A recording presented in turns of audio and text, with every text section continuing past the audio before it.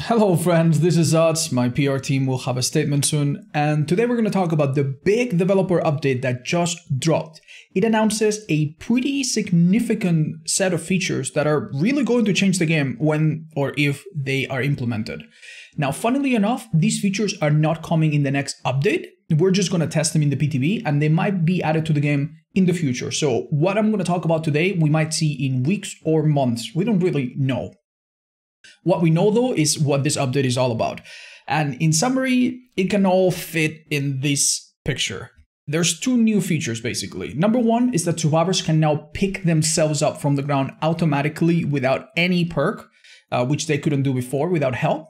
And number two is that if there's no survivor standing, if all the survivors are down, escaped, or dead, or hooked, then the game will automatically end without the killer needing to pick them all up and hook them um, to finish the game. They will trigger a finisher Mori, and you'll see a Mori of the killer killing the last survivor that was standing, and then the game will be over. Everyone will be sacrificed. Wow. All right, let's get into it. So, uh, how did it used to work up until now? Very simple. When a survivor is on the ground, they can be healed by another survivor and that's fine, or they can recover.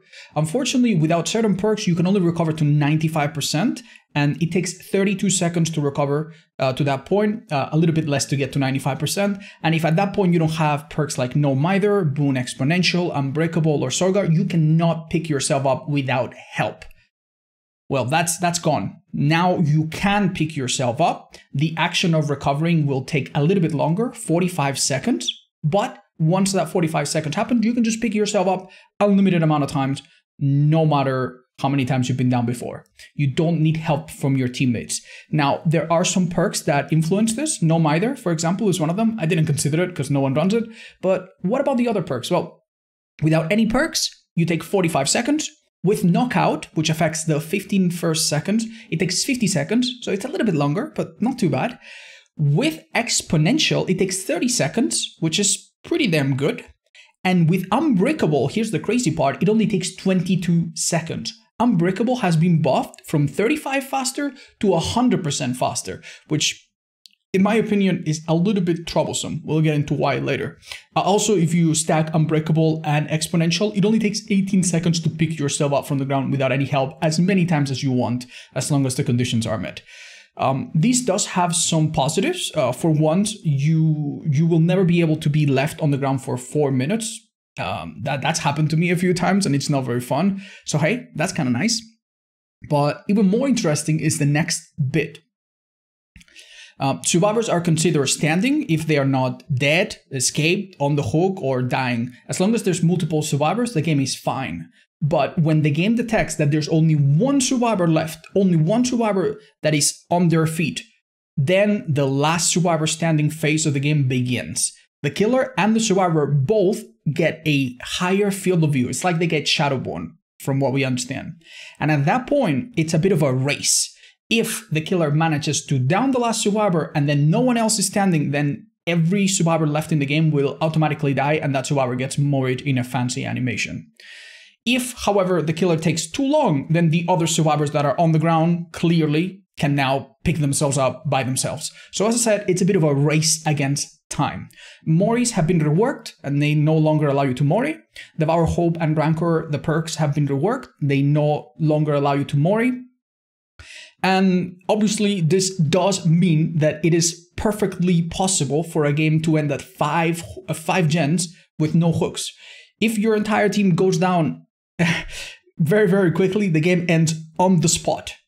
And it's also a little bit harder now to give the last survivor hatch. Unless the last survivor hides and everyone else dies, uh, you can no longer choose to give the survivor the hatch or bring them to the gate to be kind of nice. You cannot do that because the game automatically ends if you down all the survivors. So that's a bit of a bummer, but that's how it works right now. Most games, I imagine, will end with the last two or three survivors um, being downed, and then the killer possibly um, getting, you know, the Mori finisher. Now, the big, big question is who does this benefit? What kind of player? What kind of killer? What kind of uh, perks benefit this? And this is a little bit tricky and there is a lot to explore. I hope that we all together in the PTB try to break the system to make it the best it can possibly be.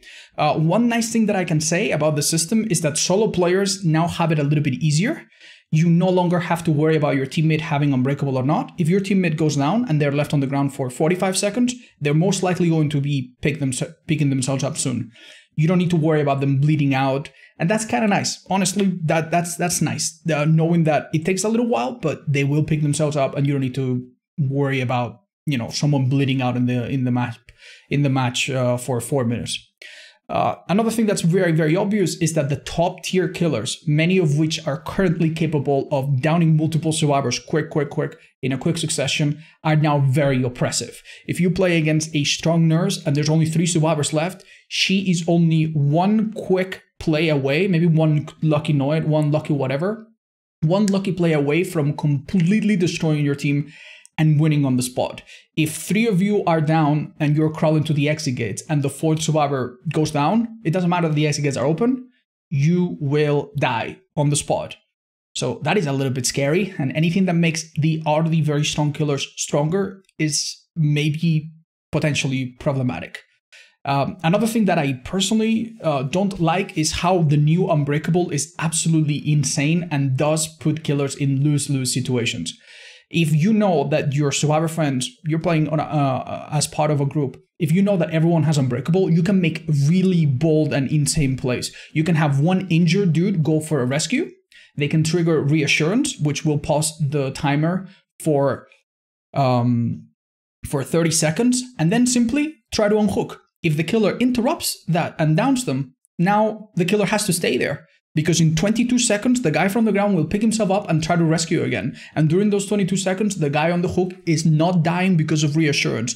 So the 22 second self pickup with only one perk forever, unlimited times, it makes playing certain killers very, very difficult. I think they should reconsider the unbreakable speed. Uh, another nice thing, maybe my favorite thing that comes from all of this, is that you will now have very tense moments with snowball type killers or snowball type perks. If you play against the Plague or Trapper or Myers or Oni, and there's a person or two on the hook, the last two survivors need to be very careful because suddenly if one of them goes down, the other one is the last person standing. If they go down quickly as well, even if the other people have Unbreakable or they were about to use their deliverance, whatever, they can now die on the spot as well. So I do like that there's a bit of tension with some of these killers that can now have big, big comebacks regardless of what perks could be in play. Uh, the things that are not so nice though are some of the killers that have to slug for things that are beyond their control. If you play the twins, you know very well that it takes sometimes 10 or 15 seconds to simply get a pickup after using your power. Uh, so some of these changes seem very, very inappropriate for killers like this and situations like this. If, what if they are saboing? There will be times where you leave people on the ground not because you want to, but because you have to.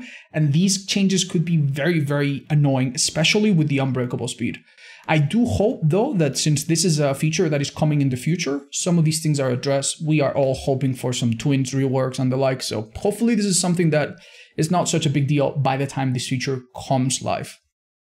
Uh, another thing that's worth mentioning that someone pointed out that I didn't think of immediately is what happens if there are new places where the killer cannot hook.